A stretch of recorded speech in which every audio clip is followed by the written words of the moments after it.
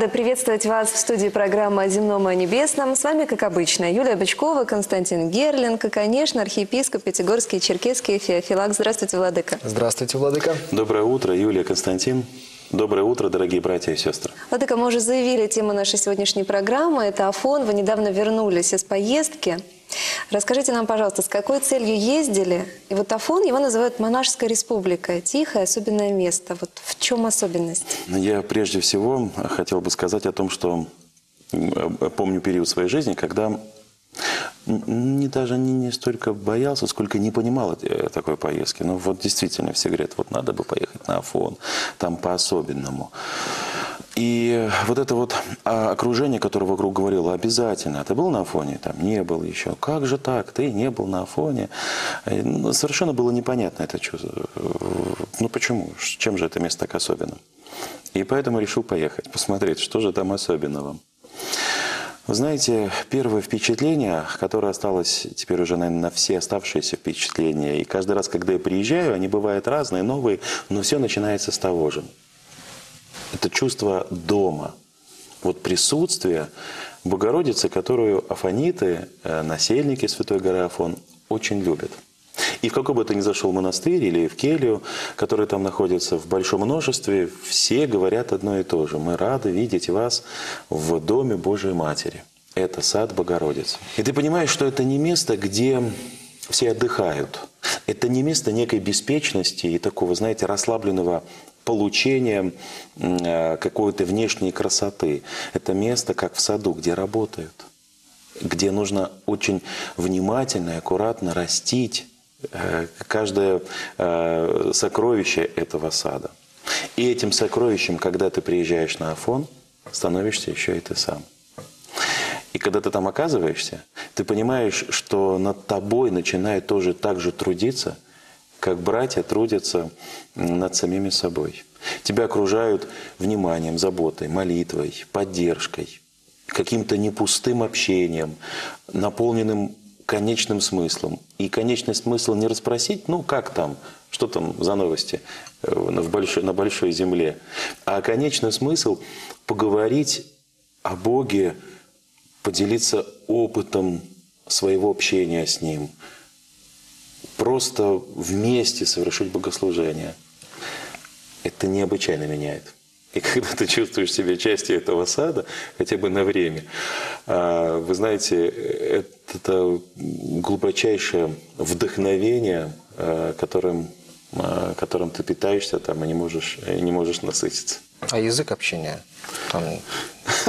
Язык общения молитвы. Конечно, все говорят по-гречески. Я к большому своему сожалению, не знаю греческого, чтобы говорить свободно. Но вот представьте себе, ни в одном из монастырей у нас не было каких-то там сложных языковых проблем. Находились люди, которые вдруг понимали русский язык, но не потому, что вдруг они его начинали понимать, а просто оказывалось, что в этом монастыре живут выходцы из России, или из Беларуси, или из Украины, или из э, каких-то других славянских стран. И они вполне сносно говорят по-русски, можно через них о чем-то спросить, задать какие-то там самые важные вопросы. А когда общаешься с Герондой, с настоятелем монастыря, то, как правило, в каждом монастыре есть э, кто-то из близких его воспитанников, помощников, которые говорят достаточно свободно на русском языке, и через них доверительно можно поговорить э, с Герондой, со старцем, настоятелем обителем, задать ему вопросы и найти совершенно неожиданные ответы на эти вопросы. А вы один ездили или там в составе делегации? В этот раз я ездил с, с нашим духовенством из епархии. У нас была большой, э, большая группа, 17 человек. Даже для Афона достаточно большая группа. Э, и мне очень хотелось показать священникам традицию богослужений Святой горы Афон. То, как монахи трудятся и молятся. Вот для некоторых кажется, э, сама молитва это, не, это несомненно труд, конечно труд. Но некоторые говорят, ну вот такая бывает продолжительная служба, такая утомительная и прочее. Вот так вот на фоне мы видели, как на службе как раз отдыхают.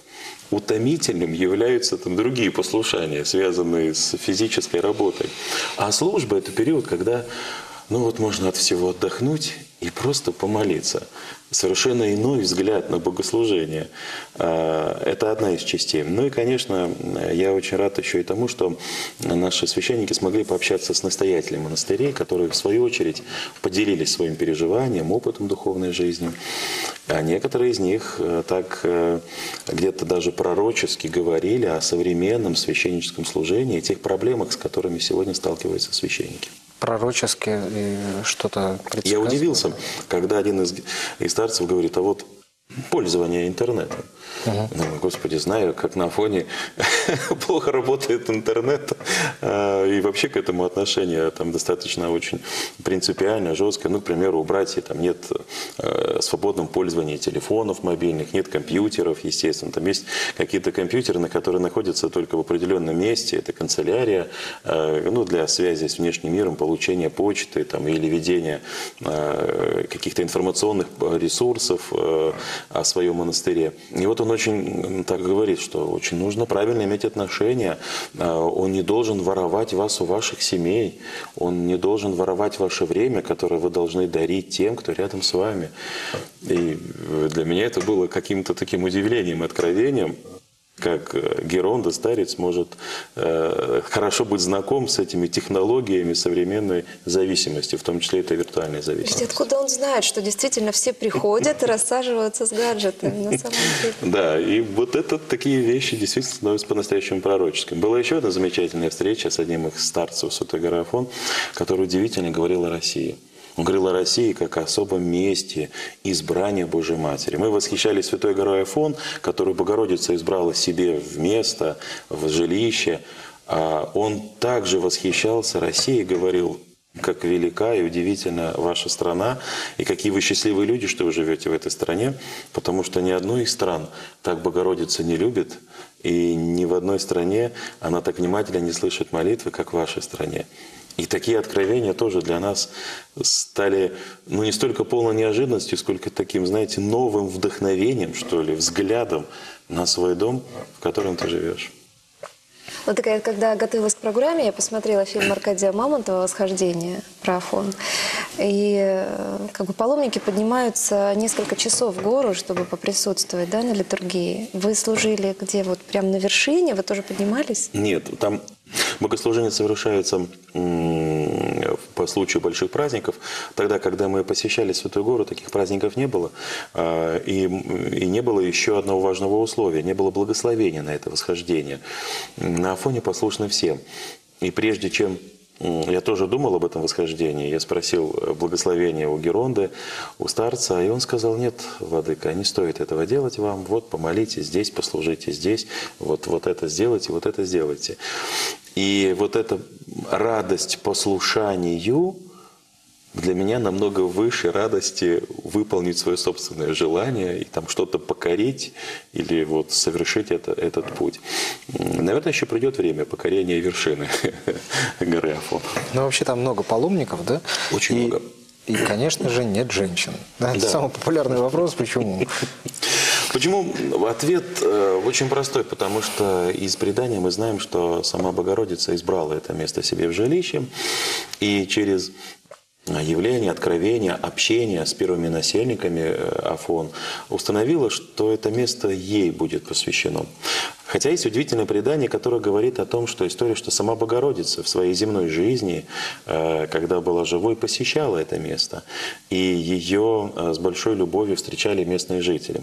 Кстати сказать, а, в монастырях Святой горы Афон очень а, трепетно, ну, с точки зрения археологических находок, сохраняются всевозможные памятники, относящиеся к древней античности. Ведь до появления там этого нынешнего Афона с такой высокой монашеской духовной жизнью, Афон был своего рода духовным центром, но в другом, в таком негативном качестве. Это было место языческих а, всевозможных жертвоприношений, большого количества языческих капищ, где приносились в том числе и человеческие жертвы. И это было место, конечно, осквернено э, всевозможного рода бесчинствами, которые облекались в ритуальную форму. И вот э, не случайно, наверное, это, именно это место Богородица избирает себе в дом, чтобы очистить его и показать, что истинное богопочитание и присутствие э, в мире людей способно осветить и очистить любое место. Проще говоря, не место освещает человека, а человек освещает место. И Святая гора Афон – самое яркое тому свидетельство. Все-таки можно же такой женский вопрос. А что на столах было? Чем угощают на Афоне? Там легенды ходят о, об их меню. Все зависит от времени поста э, или не поста, и, конечно же, от праздников. Вот на трапезе сразу чувствуется, что сегодня церковный праздник. Некоторые монастыри, э, ну, следуя греческой традиции, живут по церковному календарю, который отличается от времени церковного календаря здесь, в России, и некоторые праздники там совершаются в другой день.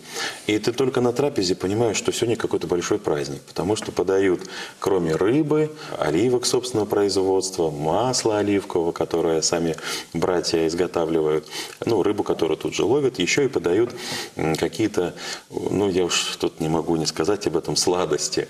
Это, как правило, сладкая кутия, но она приготовлена особым образом, пшеница, смешанная с, со сладостями. У нас так ее не делают, у нас по-другому немножко она делается. И это просто наслаждение, когда ты вкушаешь этой кутии. И, конечно, много овощей, много фруктов. Братья едят то, что чаще всего сами выращивают у себя в огородах. Ну или то, что привозят паломники в качестве жертвы. Кто-то приезжает с пряниками, кто-то с печеньем. Помню, мы вошли в один из монастырей, греческий монастырь, и на столе увидели русские бублики. И, конечно, это было для нас большим подарком, где еще можно было бы попробовать хороших русских бубликов, как не греческом монастыре на Афоне. Там тепло? Да, там сейчас это время года, кстати, тоже сказать интересно. Вот у нас а, мы принято позднюю теплую осень называть бабьим летом. На Афоне называют это время года Дмитриевским летом, потому что в эти дни празднуется память Дмитрия Солонского которого очень почитают на Святой горе Афон в том числе.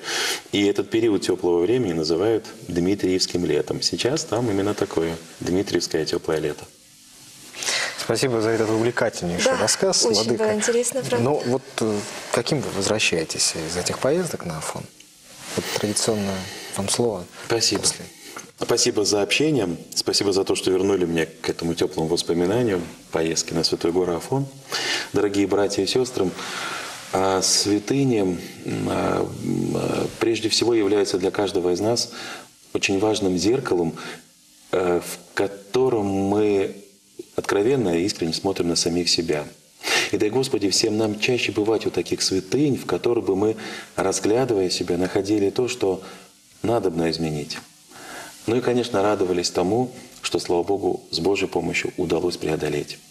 И еще у святыни всегда молитесь о своих родных и близких. И тогда Господь э, за каждым из нас оставит свое благословение. Храни вас, Господи. До свидания.